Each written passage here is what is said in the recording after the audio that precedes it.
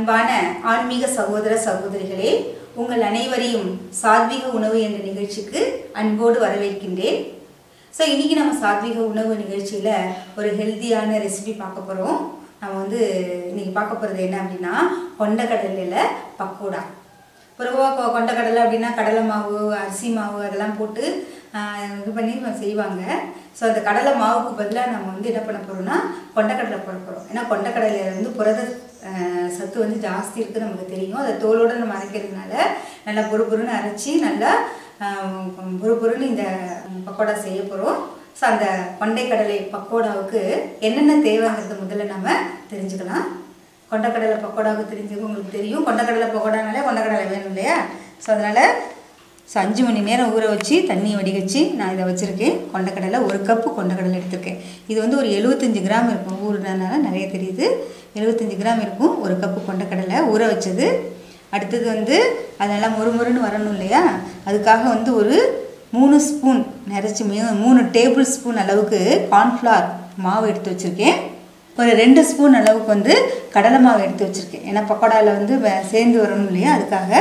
அதுக்கப்புறம் காரத்துக்கு டேஸ்ட்டுக்கு வந்து ரெண்டு பச்சை மிளகாயும் ஒரு துண்டு இஞ்சியையும் துருவி எடுத்து வச்சுருக்கேன். பச்சை மிளகாய் இஞ்சி. அதுக்கப்புறம் வந்து கருவேப்பிலை கொத்தமல்லி இதில் கொஞ்சம் நம்ம வந்து முருங்கைக்கீரை கூட போட்டுக்கலாம். டேஸ்ட்டுக்கு எந்த ஒரு பக்கோடாவோ வடையோ எதுனாலும் கூட கருவேப்பிலை கொத்தமல்லியோட ஒரு கொத்து ஒரு ரெண்டு கொத்து வந்து முருங்கைக்கீரை போட்டுட்டிங்கன்னா அதை வெண்ணு சாப்பிடும்போது ரொம்ப டேஸ்டியாகவும் இருக்கும். அதே நேரத்தில் முருங்கைக்கீரை வந்து நமக்கு இரும்பு சத்து உடம்புக்கு ஒரு சத்தான ஒரு கீரை சேர்த்த மாதிரி இருக்கும். அதுக்கப்புறம் வந்து சோம்பை நான் வந்து நச்சு வச்சுருக்கேன். அது முழுசாக போடக்கூடாது. நச்சு போட்டால் தான் அதனுடைய வாசனை வந்து பக்கோடாவில் ரொம்ப நல்லாயிருக்கும். அதனால் சோம்பு பெருஞ்சீரகத்தை வந்து நசுக்கி வச்சுருக்கேன். அதுக்கப்புறம் வாசனைக்கு பெருங்காயத்தூள். ஸோ காரத்துக்கு வந்து கொஞ்சம் மிளகாத்தூள் போட்டுக்கலாம். தேவையான அளவுக்கு உப்பு. உப்பு எடுத்து வச்சுருக்கேன். அதுக்கப்புறம் வாசனையாக இருக்கிறதுக்கு நல்லா கிறிஸ்பியாக இருக்கிறதுக்காக நல்லா பொடிசாக நான் கட் பண்ணேன் பாருங்கள் இது மாதிரி குச்சி குச்சியாக பொடிசாக கட் பண்ணிக்கணும். இதுமாதிரி கட் பண்ண முட்டைக்கோஸ் கொஞ்சம் நான் எடுத்து வச்சுருக்கேன். அதுக்கப்புறம் பொரிக்கிறதுக்கு தேவையான எண்ணெய்.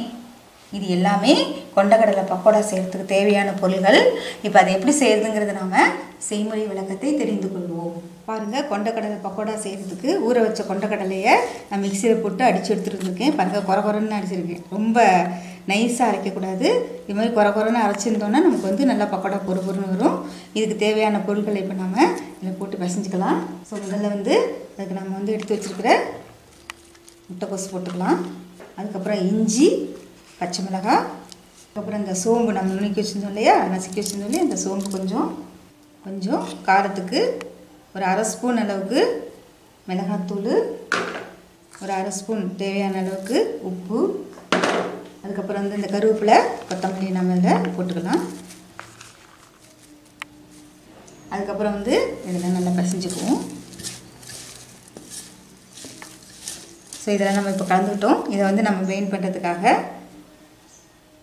இந்த கார்ன்ஃப்ளவர் மாவு போட்டுக்கலாம். கொஞ்சம் வந்து கடலை மாவு.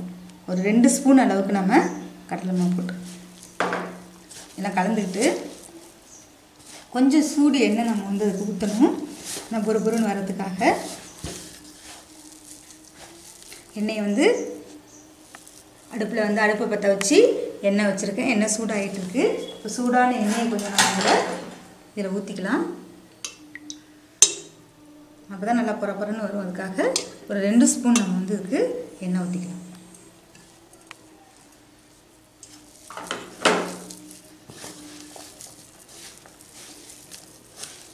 ரொம்ப பக்கோடாவுக்கு வந்து மாவு ரொம்ப தண்ணியாக இருக்கக்கூடாது. இந்த மாதிரி கெட்டியாக பாருங்கள் தண்ணியை நான் ஊற்றலை தண்ணி ஊற்றாமலேயே அதில் போட்ட சாமானே அதில் சரியாக இருக்குது அதில் அரைச்சிட்டு வந்த தண்ணியும் சரியாக இருக்குது இதையே நம்ம அப்படியே போடலாம். தேவையானா நீங்கள் வந்து ரொம்ப கெட்டியாக இருக்குது அப்படின்னா நீங்கள் வந்து தண்ணி ஊற்றிக்கலாம் இப்போ வந்து எண்ணெய் சூடாகிட்டு இருக்கு. எண்ணெய் சூடாகிட்டோம் நம்ம வந்து இதை பக்கோடா வந்து எண்ணெயில் போட்டு எடுக்கலாம்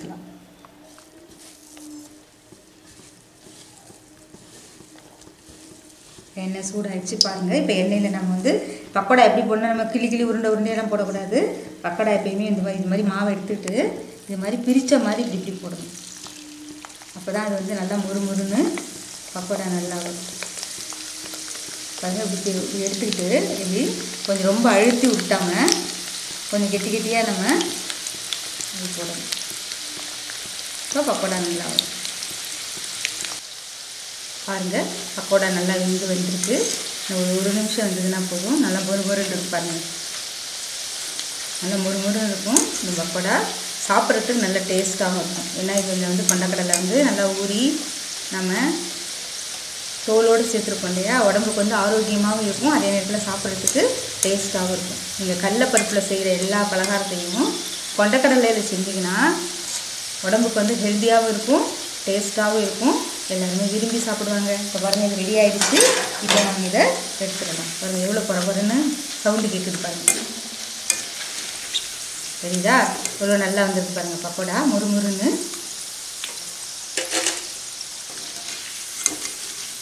பாருங்க கொண்டை கடலை பக்கோடா ரொம்ப சூப்பராக ரெடி ஆகிடுச்சு எடுத்து பாருங்கள் இங்கே பாருங்கள் நல்லா கிறிஸ்பியாக இங்கே பாருங்க உள்ளுக்குள்ள நல்லா வந்து சூப்பராக இருக்குது இந்த பக்கோடா வந்து நீங்கள் சாப்பிட்டீங்கன்னா எல்லா பக்கோடாவும் மறந்துடுவீங்க. சூப்பர் பக்கோடா. ரொம்ப டேஸ்டியான ஹெல்த்தியான பக்கோடா. இந்த கொண்டக்கடலை பக்கோடாவை நீங்கள் செஞ்சு பாபாவுக்கு போக வச்சு பாபா போக நீங்களும் சாப்பிடுங்க. எல்லாருக்கும் கொடுங்க.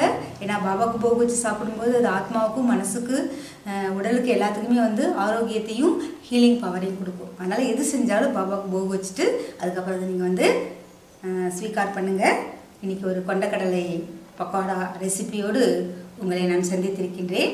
அடுத்த ஒரு ரெசிபியோடு உங்களை சந்திக்கின்ற வரையில் உங்களிடமிருந்து விடைபெறுவது உங்கள் அன்பு சகோதரி வி கே ஞான சௌந்தரி ஓம் சாந்தி.